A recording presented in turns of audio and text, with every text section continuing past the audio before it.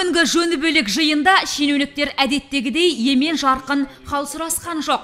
Жұмыстағы кем кетіктер мен міндетіне алған мәселе майшаммен қаралатынын сезсе керек шақырылған бір қатар басқарма басшылары тіпті төбе көрсетпеді. Сонымен мемлекеттік қызмет сапасы жағынан шымкент елдегі 17 аумақтың ішінде 16-шы соңғы жағынан екінші орында.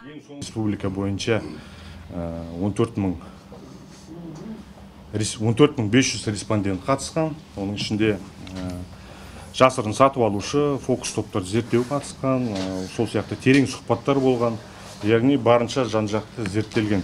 Осы жаңағы рейтинг бойынша қарап отырсақ біздің шымкент қаласы өте төмен деңгейде болып тұр. Бұл нені көрсетеді? Яғни біздің қызмет көрсету саласында бірнеше кемшіліктер жол алып тұр деген сөз. Көрсеткіштің күрт төмендеп кетуінің себебі мен салдары да зерттелген. Дерек пен дәйектер тізбектелді. Сөздің алды жұмыспен қамту және әлеуметтік қорғау басқармасының қызметкерлеріне арналды.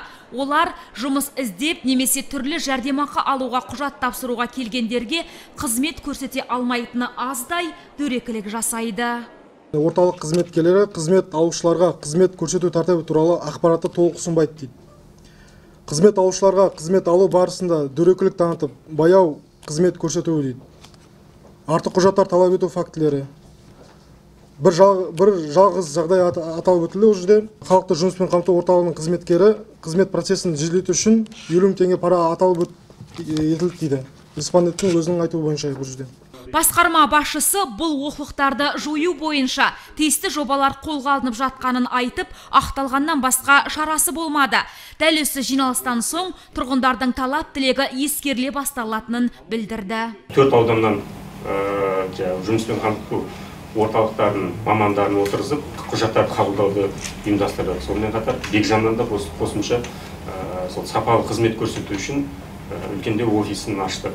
Мемлекеттік қызмет көрсетуде медицина мамандарының жұмысы да жергілікті жұрттың көңілінен шықпаған. Емдеу мекемелері ауруханалар ондағы адам тәнінің ғана емес жанының да инженерлері онсыз да жан ауырып тұрған науқасқа қатты сөйлеп көңіліне тиетіні айтылды. Ал басқарма басшысы мұны сала қызметкерлерінің қалыпты мінезі дейді. Мысалы біздің қызметкерлер кездеседі. Ол егер өзімен табиғаты сондай дөрекі болса біз әрине одан шеттеуге тырысамыз. Сапасын мына скорый помощь жәрдем сапасын көтеру үшін тек қана машина керек емес. Оған білімді азаматтар персонал керек.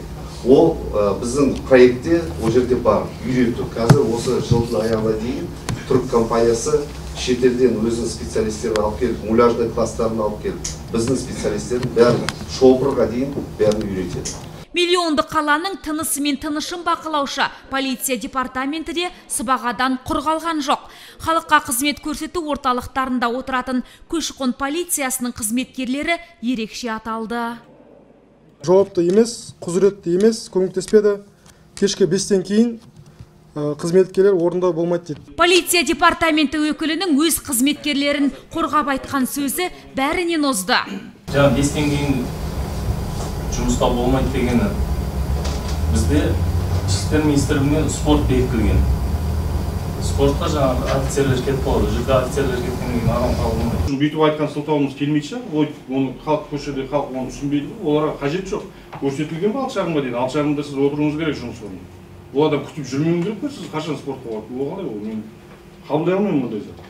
Осы және өзге де өрескел олқылықтарды тізбектеп шыққан мемлекеттік қызметтер көрсету мәселелері жөніндегі ведомство аралық жұмыс тобы бұл олқылықтар жойылмаса тиісті шара көрілетінін басқарма басшыларына шегелеп айтты.